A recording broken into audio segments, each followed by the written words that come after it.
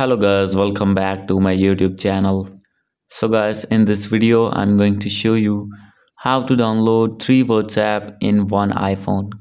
So guys if you're using iphone or other ios device and want to install multiple whatsapp and want to use three whatsapp on your iphone i'll help you how to do this.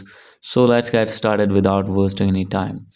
So guys firstly you can use this whatsapp messenger on your iphone. As you can see here that now i am using.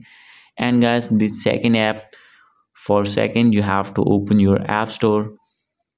And guys here you need to search whatsapp. As you can see here and you can search business. So guys you can see the another whatsapp here. You can download this one on your iphone so guys like that you can use two whatsapp in one iphone. So guys if you want to use multiple whatsapp more than two then no need to worry. You have to open your app store again. And guys here you need to search app cloner. So guys as you can see here here you can see app cloner. And guys from here you can see multiple app cloners app but some of these working like as you can see here is the option of parallel space dual accounts. You have to open this one and guys you can install this app on your iphone. And guys by installing this app you can use multiple apps.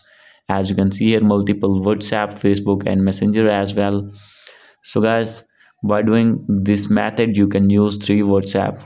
So guys hope you like this video. If you like this video please do subscribe my channel. Thank you